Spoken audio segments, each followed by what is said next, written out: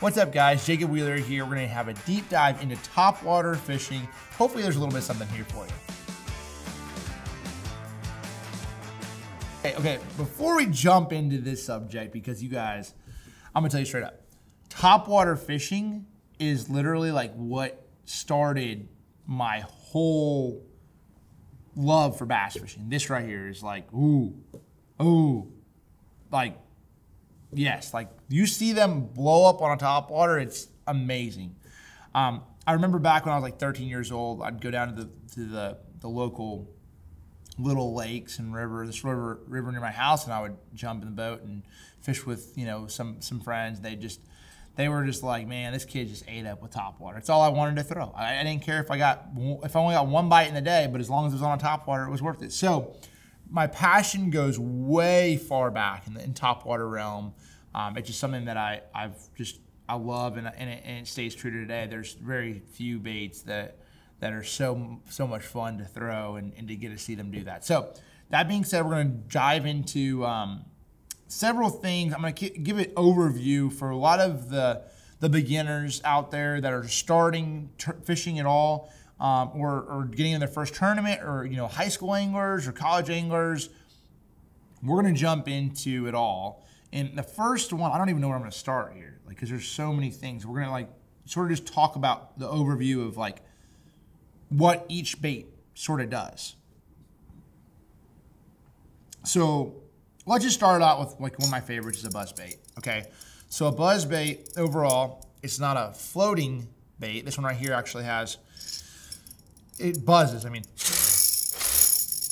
it, it, you know, that blade turns, which ultimately forces it to rise up. It stays on top of that blade is turning and making noise. And then the back where the hook is, is it's underneath the water. And that's, you know, this is the attractant, and then this is what actually they bite. So there's a lot of different buzz baits that come in a lot of different shapes. For me personally, I like putting a trailer on my buzz bait, whether I put a toad style on it or I put some sort of trailer with like two two um, little kickers. To me, that is what I personally think generates more bites. And when they go up and bite a here's a buzzbait without a trailer on it. When they bite that, I just don't feel like they have much other than a hook and some skirt. So I don't really I don't really like that that that much. I don't I mean I'm not saying you can't catch them that way, but personally I prefer it and I feel like they hold on to it a little bit longer. So now, as far as blade color and everything else, I, these are just two gold ones. I doesn't. I don't think it really matters that much. I think the noise of the buzzbait matters a heck of a lot. So, yeah, yeah, she'll she'll she'll catch you a few. Like that's that's important. Like the squeakier, louder buzzbaits typically. Like I like that. Like in in, in this one's actually a buzzbait that that I've been making for a while. It's under Accent's brand, but it's just a really good squeaky buzz bait, and that's what I want. Like I don't want one to be like super subtle, very subtle. Like I mean, there's times that can work, but most of the time I want it pretty obnoxious, and I want it to, to, to attract those fish to sort of see what's going on. So buzz bait fishing can be fun, but the disadvantage on buzz bait fishing is weeds. Okay, so your advantage is it's going to be able to go over wood. It's going to be able to go over things fairly uh, snag resistant. It's a single hook, so it's fairly snag resistant overall. Works well, and, it, and like even if you're running over wood, it's going to go you know over those things fairly well.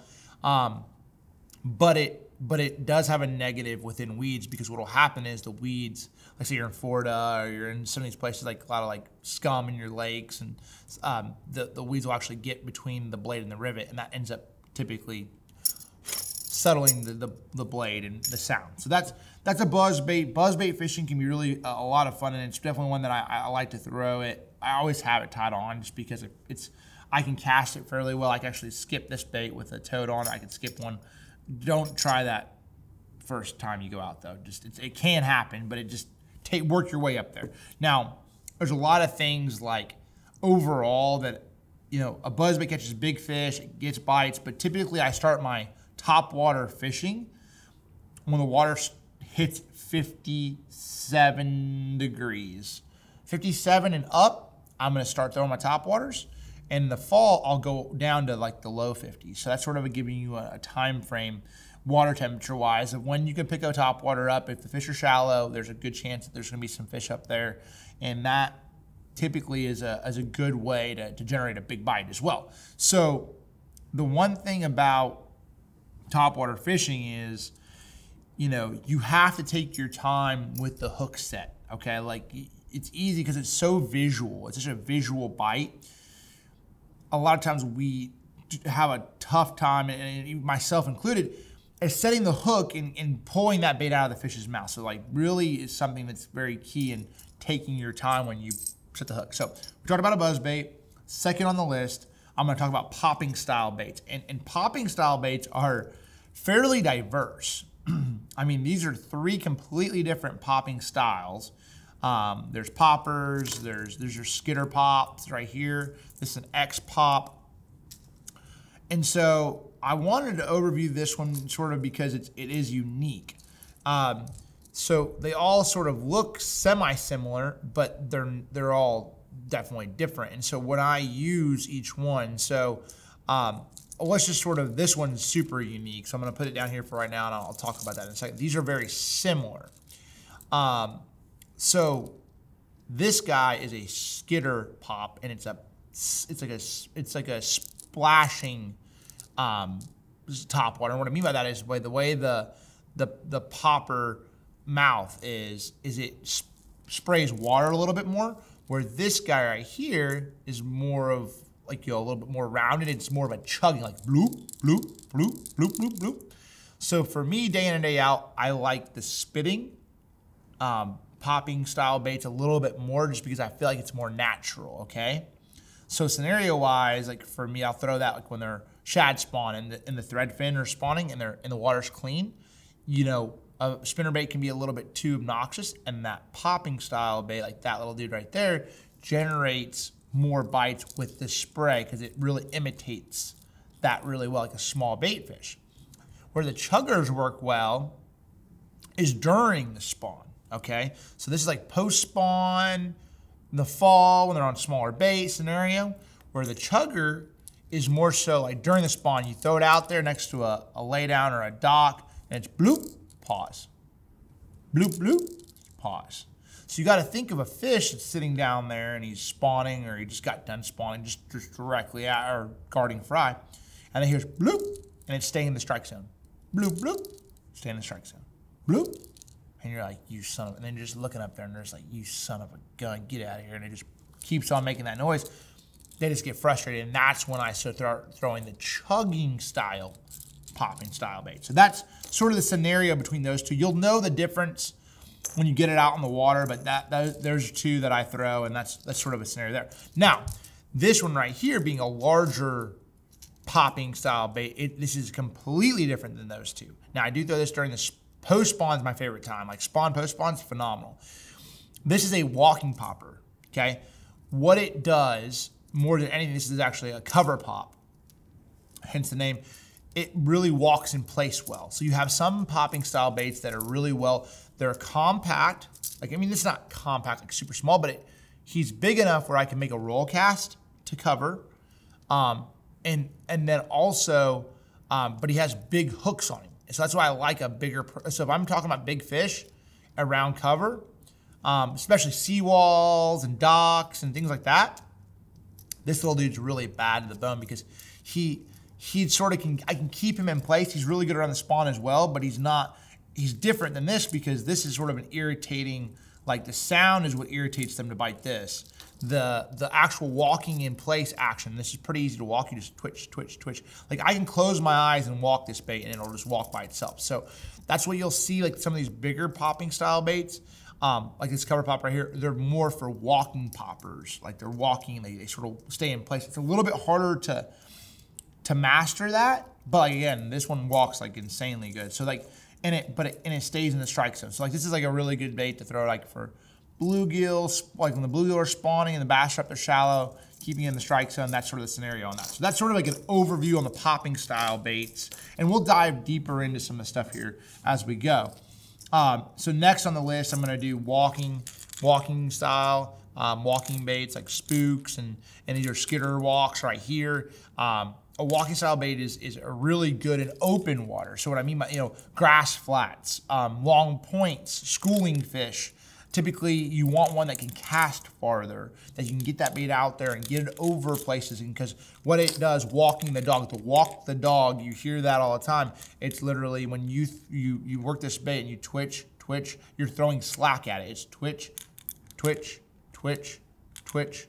You know, if you keep your rod, if you're just pulling it and not giving it slack, it's not going to walk far. So that you twitch, let it glide, twitch, let it glide, twitch, let it glide, twitch, and then, then you get your cadence. Twitch, twitch, twitch, twitch, twitch, twitch, twitch, twitch. And I like that one knocker. That was super loud. Like top waters for the most part, I want to be pretty loud. Um, because I'm like a lot of times walking baits, like there's bass that'll come up from 20 feet of water to come eat this bait. Like it's really interesting to see how, the, especially in clean water when you're talking about, you know, largemouth and spotted bass and smallmouth even, like in calm days, they'll come flying up and just eat it because it's so natural. It's one of the most natural baits you can throw because they, it's sort of like they can't tell what it is. You know, it's not below the surface, so they're just looking up there and they're seeing this thing make you know commotion and it just typically really just it just gets big bites. So like you you know size wise you can sort of switch it up, but like I mean traditional size is you know like a four inch walking style bait typically is what I'll, I'll roll with.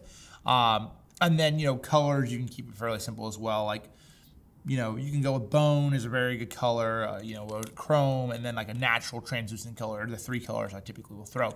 But for me, it's really uh, about the fall. It's about um, grass flats. It's also about covering water. It's also about expansive areas is when I throw a walking bait, like expansive flats, two foot of, three foot of water, four foot of water, places like where the water clarity is not the greatest, but like, you know, foot of visibility, two foot of visibility, where I can pull them up off the grass, it's great. And then of course, highland reservoirs where I can actually pull those fish out of 10, 20, 30 feet of water. You know, if you're going from the bank or you're fishing from a boat, you can pull fish up with a topwater walking bait like this right here. Maybe, and it's gonna pull them, it's having more drawing power than something smaller because just the profile and the sound and everything else. So that's when a walking bait is really a, a, a killing killer on that side of things.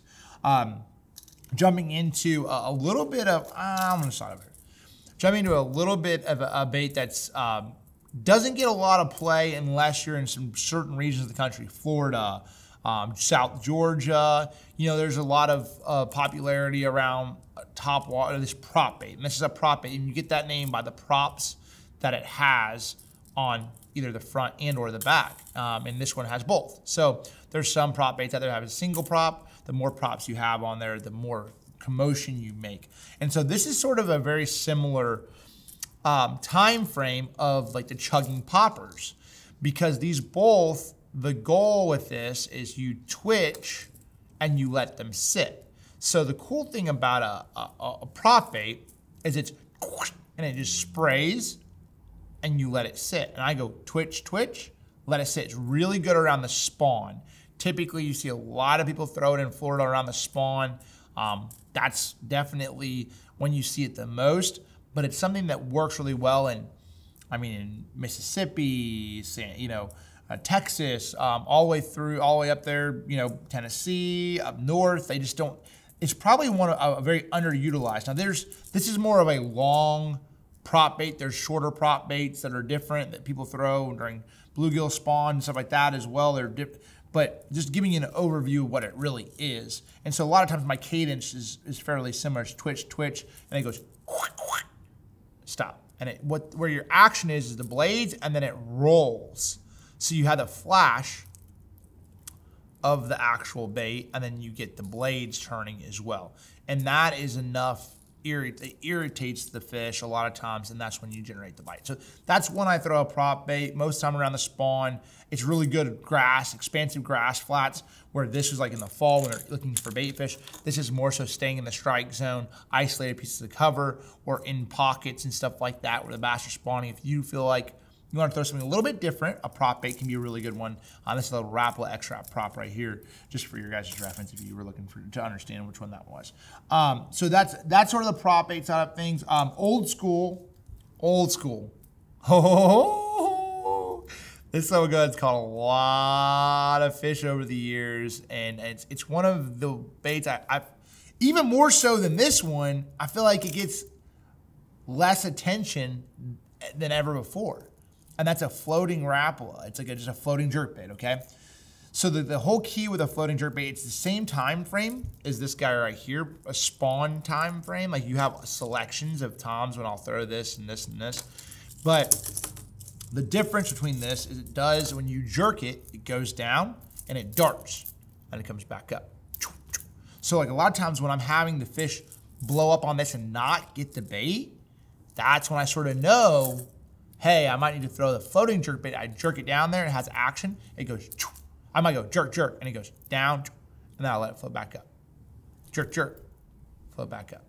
And that irritate, it's, st it's still a strike zone thing. You know, I'm throwing it around, you know, around cover up shallow. It's not, disadvantages is not going to be really good around, you know, a lot of cover. I'm throwing it around areas where, you know, if you're around boat docks or places where you can cast this, it's not going to cast super well on that side, but it's also really good for creeks and ponds and places like that. Really good bait and one that's has not seen a lot of attention. Actually, a lot of people don't even have them in their boats. So that's why I recommend this because I think that fishing sort of a deal where the bass, like everything goes back to what it like once was. Like there was like it, if action really caught a lot of fish back in the day, it probably still catches them now. Just we forget about it, and then it everything rotates back in, sort of like fashion or something like that. You know, it's like you know it comes back in and those bass they just haven't seen it for a while and i think that's why a floating jerkbait is sort of underutilized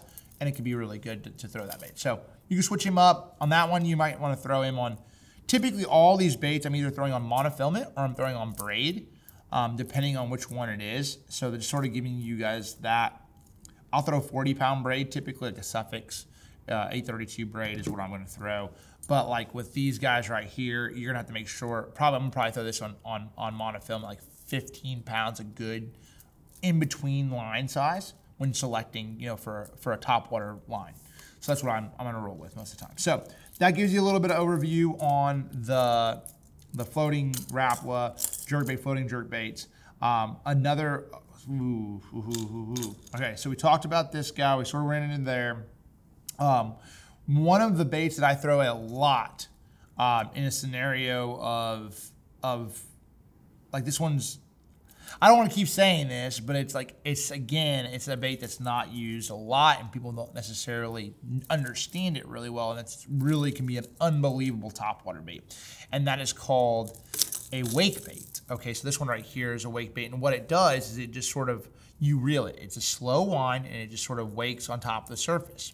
And the advantage of this bait more than anything is it's actually the best top water to throw in water temperature at the at the coldest water temperature. It's also really good when you want to be subtle. Okay, so not this and not walking aggressively. It's just real natural and it just has this and it stays on top of the water. If you ever see a minnow swim and he's swimming through there, he just has a really good like V like that if he's on top of the water and it's flat calm day, has a little V. That's sort of the imitation of this bait. It just sort of literally just rolls. It just has that really unique action. And it's one of my favorite baits to throw when they're being really goofy on other top waters. If they're really good pre-spawn and later in the fall when you want when the water temperature slows down. I've caught fish on this on this bait right here in 49 degree water temperature. So I told you mid 50s is sort of when I start, but this one right here is if there is a top water that I'm going to throw and you see fish breaking in the wintertime or like colder water temperatures, a wake bait is a must have. It's the only top water I always have in my boat in the winter months. So that's why I sort of keep him uh, you know, typically that 15 pound monofilament is sort of my go-to line for that, or 14 pound monofilament is what I'm going to roll with, shad patterns, and, and that's sort of the, the game plan behind him. So I had to sort of go over that. Um, next on the list is, is, plopping style baits. Okay, so a plopping style bait is, is a bait that just, um, what its sort of advantage is cast and reel. Um, works well for creeks and ponds and places like that as well. You'll see that little plopper style little prop on the back. And it's really started as a musky lure actually um, back in the day. And so what it what it just does, it has that little. It's pretty straightforward. Plop, plop, plop, plop, plop, plop, plop, plop, plop, plop, plop. It has that real good um, sound to it, and, and it's a good cast and reel. Um, typically, this is good for covering water. Um, disadvantage is cover with this bait. So I, I, sort of these sort of go hand in hand. Um, where a buzz bait, I throw around a lot of wood. This guy's really a lot better in open water or places there's not a lot of cover. It's very similar as far as both of the sound attracts the fish, um, but but you know it's a little bit different. You know, grass, you know, obviously not the greatest in grass, and you know, emergent grass, you wouldn't want to necessarily throw this guy, but that's sort of the scenario of when I throw. I'll throw this guy um, over a buzz bait when I'm talking about straight banks, you know, 45 degree banks. Um, but when I'm talking about cover, I'm going to throw that buzz bait. So that's sort of like, I sort of look at those both go hand in hand, and that's sort of like when I think of that. I'll throw that on like a 40 pound braid or a 30 pound braid or something like that typically. Or you could throw it on monofilament. Like I said, it's, easy going. But popping style baits are really easy to use because you just cast them out there, reel them in, and they do float, where a buzz bait, you have to pull them up. So that's sort of a, just an overview on, on, on that guy. Um, and then sort of the last but not least in the, in the grand scheme of it all is, is frogs. Like, you know, we can, there's more, I mean, there's things that I could bring up as far as other top waters and we can go on and on and on and on and on. But I wanted to give you guys as a viewer uh, and a good over, uh, overview of what top waters are, and like sort of my, my mindset behind them. Um, so you got top water frogs. And I have like, I think five, six boxes of frogs. Way too many. You don't you do not have to complicate it that much, and that's why. But that's just how it's how I I have I have mat frogs. I have um, open water frogs. I have finesse frogs. I have you know pad frogs. I have this that the other. I have all this stuff. But at the end of the day, I can simplify it to two, and that's what I'm. But I, you know what I'm saying. So you can take this and and I mean, I mean I have 30 top water boxes. I literally do probably 20 top water boxes. I love top waters but it can be simplified a lot more. So that being said, in the frog realm of thing, there's two different types for the most part. You have a popping frog, okay, like this guy right here, and then you have like a normal regular frog, like the this is actually a Terminator frog, um, like a you know typical sprobe, like a pointed nose frog. So the advantage is these both are typically heavier cover. The advantage is to be able to utilize this in heavy cover. All these baits right here are not that great in cover. So these guys right here are really well, really good for one, fishing over emergent vegetation. So grass that you see that scum grass on your ponds, your lakes, or you're able to put this out there and displace water and get those bites. But it's also really good for like skipping underneath underhangs. It's just a really versatile lure that you just have to sort of, I, I you got to have, you know, when you're fishing fishing out there all across the country, catching a lot of really nice fish. Um, the, the differences um, between a regular style pointed nose frog and a popping frog is this guy does displace more water. So if, if I'm fishing open water, um, and the, say the wind gets up a little bit, I might pick up the popping style frog, and I'm not using it as in a chugger like bloop, bloop, bloop. I, there's some people that do that and they catch the heck out of them on it. So I don't personally use it that way. I use it as more of the cover pop aspect. So he's a very good walking frog because he has that mouth. He's going to help me walk that frog a little bit better. Okay, so that's sort of the scenario. I'm throwing slack to it, pop, and it's sort of displacing water. And so that's sort of the advantage. Open water, I throw this guy more. The disadvantage with this frog right here, the style, is when you get into pads, because that mouth is open and, and like heavy grass, he's gonna get caught on those pads a little bit more. And that, my friends, is where this little dude comes in.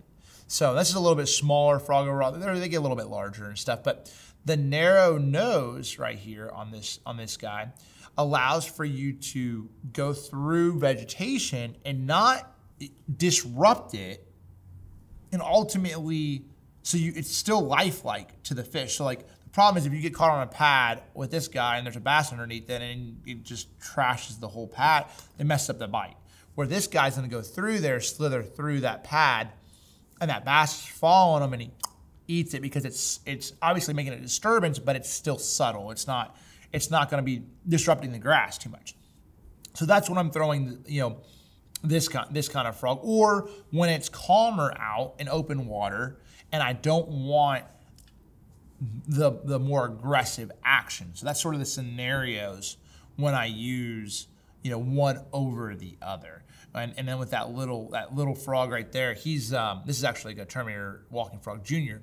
I like that as well when they're like even on a shad spawn, if they're spawning in the grass or something like that. So that's really like the overview on on each of these. You can I'm going to keep this very simple on on as far as uh, rod selection. Um, I recommend like a seven foot medium heavy is a, is a very good rod if you're trying to do most of these techniques. I think the only one I probably would change out is maybe the frog. If you're going to do that, maybe a seven, you know, seven two heavy action with a faster tip is what I would recommend. But keeping it simple and going through and talking about why and when is important. And I want you all to know, like, I'm not saying this is all perfect. I'm not going to say that. It's just my opinions on it. And somebody might say, hey, you know, this is that's completely the wrong way that I do it. And that's what makes fishing so much fun, is because there's multiple ways to use a lure, and, and, and your way might be the right way that works for you, and my way, this is what works for me. So I'm just speaking from experience, and this is sort of my top water collection to simplified, um, but giving you a good overview of how to select the correct lure and how to select the correct top water in the moment.